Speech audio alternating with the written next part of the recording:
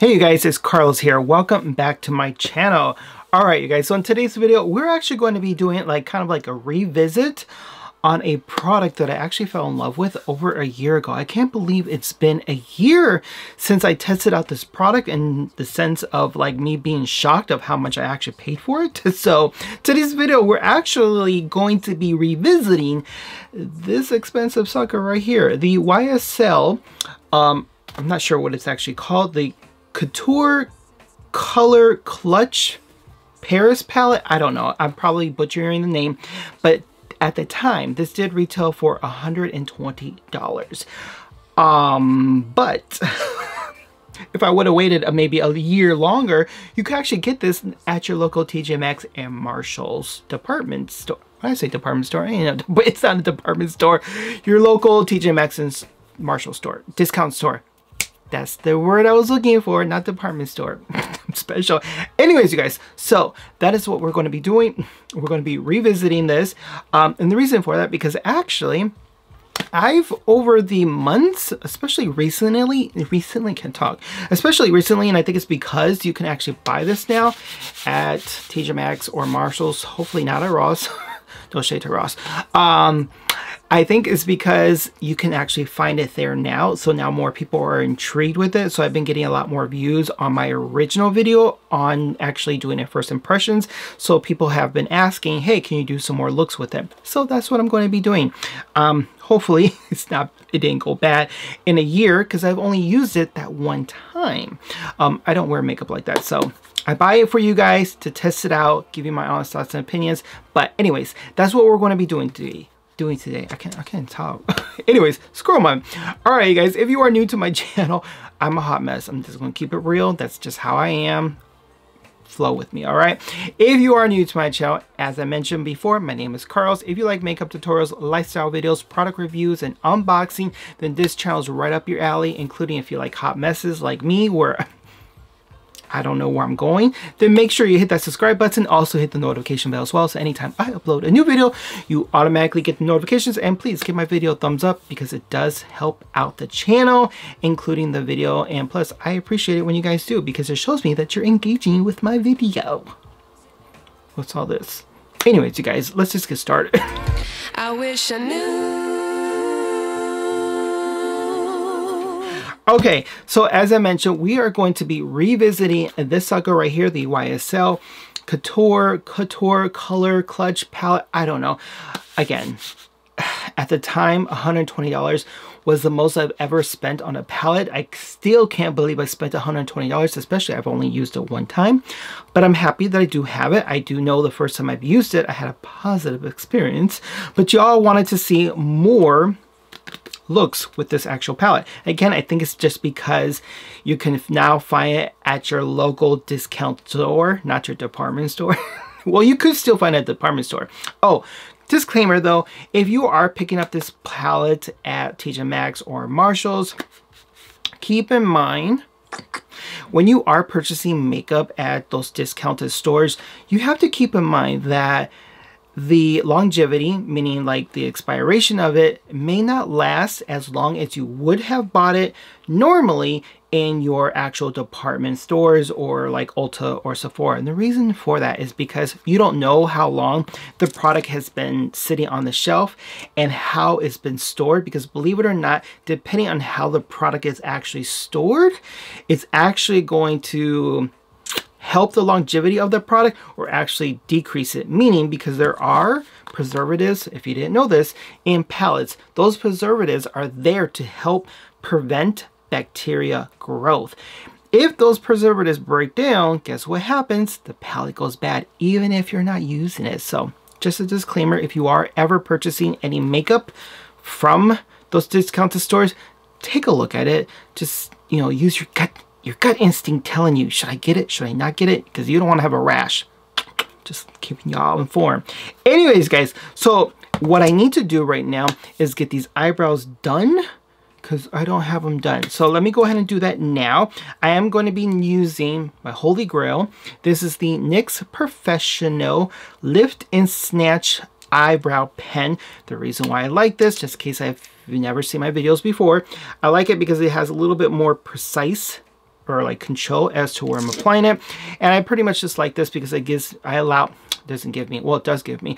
When I'm actually using it, I like to create hairline strokes. I got it. All right, let me go ahead and do my eyebrows and then we'll get started on the actual palette. Okay, don't you guys ever have that same problem when you're actually applying eye, when you're doing your eyebrows, not applying them? Why? I guess you technically you are applying. Anyways, when you're actually doing your eyebrows, like they don't always look the same. Technically, they shouldn't always look the same. One is going to always be different but it's nice to have that look where they do look the same. Like this one, look, this one looks a little more fuller than this one. They're distant cousins but at least they're still relatives. I guess that's what matters, right? Anyways, you guys, so the, uh, yeah, where that, what the, all right, so again, this is what we're going in with. I just forgot, I forgot to prime my eyelids. Oops. Let's go into Thank Me Later. Thank Me Later. Um, this is the only eyeshadow primer that I use. I love it. I just feel like it doesn't give off that white casting um, look. I don't like that. I'm not trying to look like Casper the Ghost. Okay, you guys, so I got my eyelids all primed and all set. Hey, you guys, um, real quick before I get started, let me know still with the lighting how you guys like this. If you don't like it, you do like it. Um, I did change some of the lighting around if the lighting around just in case you didn't see my last video. And the reason why I did that is because um, before I actually had the ring light in front of me behind my Sony camera and it kind of washed everything out.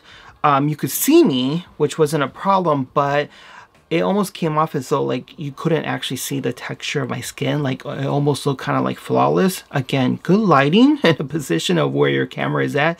It does wonders in terms of like visually to like someone who's watching you because they say oh my god the person has like great skin. It's not that it's just good quality lighting. And so I wanted to change some of that around so you can actually see my face for what it is.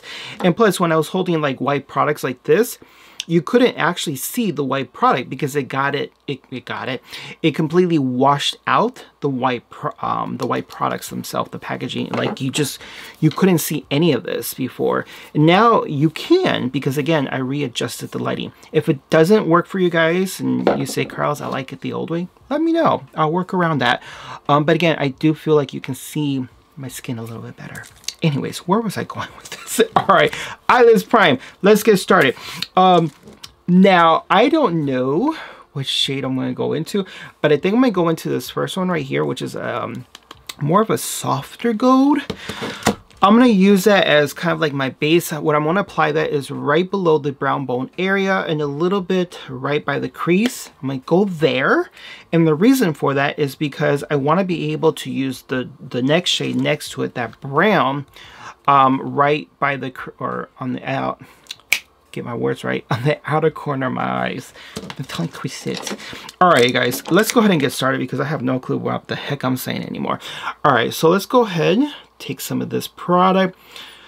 I forgot about how much there was um fallout or kick up I meant. Alright, so again, if you're not familiar as to what I'm doing, instead of like dusting off the product, I like to pack the product on here so that I'm not wasting it. If I need to go back to get some more, I can go onto my hand rather than back into the pan. Um, it's a nice method to do it that way because you're not being wasteful and doing this all the time. Um, but I still do this from time to time. Anyways, you guys, okay. that make no sense, did it? All right, I should bring you up. Hold on, you guys. Let's let's do a close up. If I see any, if you if you see any mocos, let me know. Mm -hmm. I guess you wouldn't be able to let me know, huh? All right, so, hmm. Okay, I got this little mark right here because I plucked my eyebrow earlier. So you got this like little red pinch. Anyways, sorry, squirrel moment. All right, so as I mentioned, I'm just going to apply that product right here and lightly bring it upward right below the brow bone area. So let me go ahead and do this a little bit right here, and then we'll get started right on the next eyelid. Okay guys, I was able to go ahead and apply that gold shade on both of the eyelids. Now, what I will say, initially it felt a little muted, like it was hard to see the actual gold, which it still is actually, but from a distance, um, now you can see it. Like, you know what I mean? Like, I'm not so close to, like, the ring light that's right above me. Now, what I will say, which I do remember now about using this palette, that, um, the buildability, the, yeah, in terms of like the pigment, it's actually really good. So if you want to go in there very light-handed and you just want to create a softer look, you could, and you can still pack on the product. You see this right here? And you, where you can achieve that uh, more of a, that darker gold that you're looking for. But if you really want it to be more lighter, like if you look down like over here, it's still a little bit light. Does that make any sense? That I do remember enjoying. All right, you guys. So the next um, eyeshadow I'm going to go into is this brown gold metallic shade. Um, that's all I can say. It looks like it has little gold sparkles in there. it could be from the crossover. But anyways, guys, I'm going to be using this brown one in the outer corner of my eyes. I'm going to be using the same brush. I didn't tell you the brush that I end up using, just in case if you are curious. It's the Tresluce. It is the B103 brush. And I like this because it's a little bit more smaller. It gives me a little bit more control of where I'm applying the product. All right, you guys, so I did clean off the brush. I do have multiple ones of these, but um, I end up using the same one. All right, you guys, so I picked up a little bit of that product. Let's see here. All right, so as I mentioned, I'm just going to apply it right in the outer corner. I'm about to say inner corner, outer corner of the eye, and then buff it inward right in the crease line here and then bring it slightly up on the outer edges to kind of give it that more of like that smoky eye appearance. All right, so I was able to go ahead and apply the brown shade on both of the eyelids. Um, it blended out actually really nicely. Hopefully it translates well on your guys' end. Let me give you a close up right here. You see this? I like that brown and that gold, like the combination. It doesn't look muddy, but it blended in so effortlessly. All right, so what I'm gonna do, I'm actually, I'm gonna use the black. I'm very curious. I'm gonna apply it right on the outer corner of that eye area and just slightly buff it out a little bit. I wanna see how it's gonna look if I just darken up just a smidge more. So I'm gonna go into um, a MAC 219 brush. As I mentioned, I'm using this black that's right there.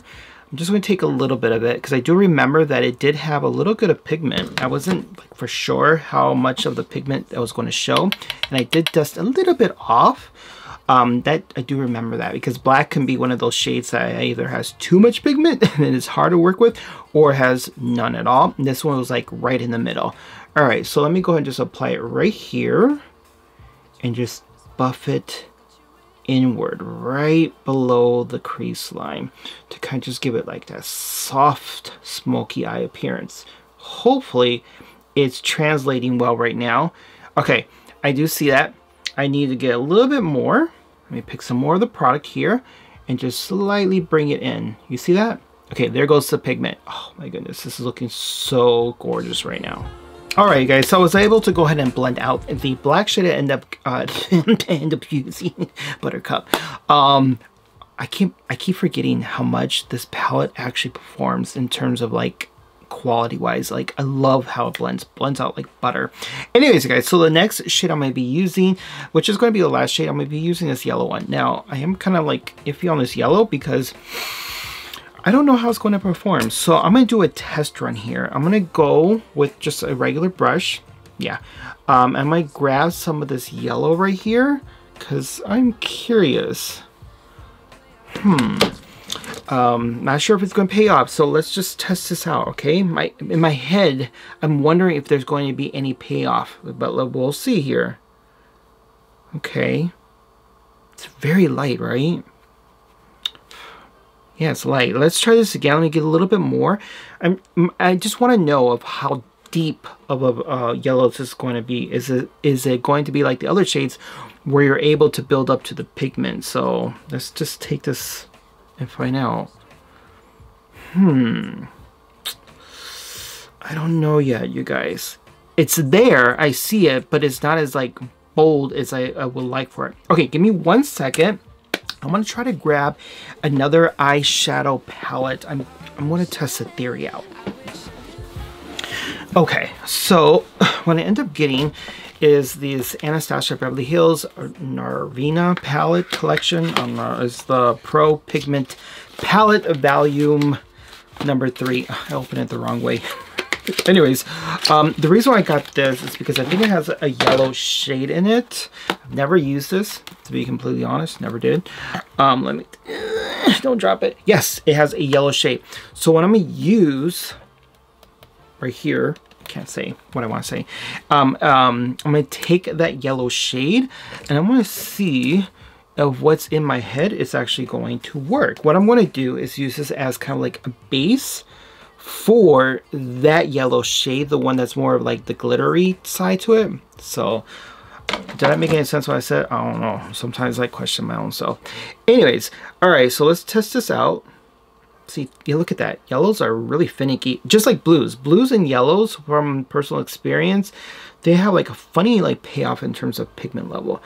All right, so I should have used a primer just to test this out. All right, so here's the yellow, right? Get a little bit more. Just curious. Here's a little bit more, right? okay, so that's the one I just got done applying. Now let's go back to the YSL palette and take a little bit more of that product and go right on top. Let's just see, right? I'm just curious if the intensity level is going to increase. Hmm. Slightly, right? Slightly. To be fair here, let's try this. Let's do one eye with just the shadow itself and then one eye with the Anastasia Beverly Hills yellow shade as a base and see if it does anything. We'll do that. All right, so we'll do this, I don't know, this eye with just the regular shade of the palette from the YSL and we'll just go from there, right? All right, did that make any sense what I just said? No. Um, but again, special. All right, so we're going to do this eye. Anyways, do you see what I want to do, right? All right, let's just take a look. All right, let's just see how this yellow is going to perform. Hmm. It looks okay. I mean, in the pan, it looks more bright. I'm going to be completely honest. But when you apply it, it's not as bright as what the pan appears to be. Right? I mean, it's pretty. Don't get me wrong, it's not. All right, let me just go ahead and finesse this a little bit more here and see what we come up with.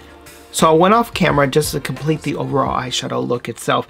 Now what I end up doing is putting on some mascara and then I end up bringing some of that black eyeshadow shade, bring it down to the waterline area and bring in some of the yellow as well so they can basically connect, give it that more of a softer overall appearance of that smoky eye.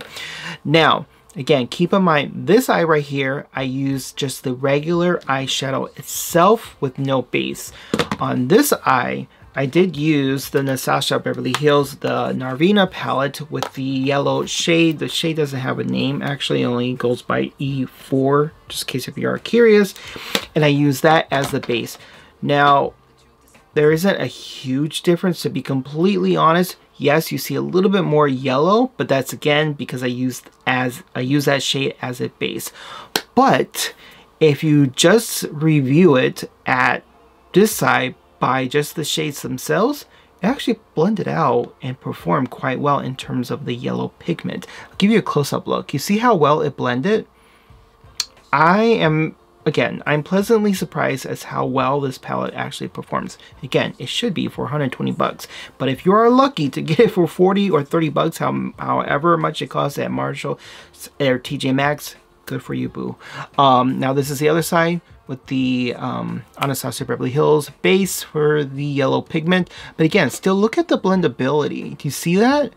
Like, I'm telling you, it's effortlessly. This palette right here, if you can get it, Get your hands on it. You won't regret it. Anyhow, if you don't follow me on my other social media platforms under Instagram, Facebook, or TikTok, make sure you do follow me on those other platforms because I do actually create separate content just strictly for those channels, especially on TikTok. So again, if you don't follow me there, make sure to head over there under the name of Truly MKE. Truly MKE is pretty much on all of my platforms for social media. And if you haven't done so already, make sure you hit that like button and also hit the subscribe button as well. But until then, make sure to brush your teeth, wash your culo, and subscribe. I will see you guys in my next video. Until then, take care. Bye now.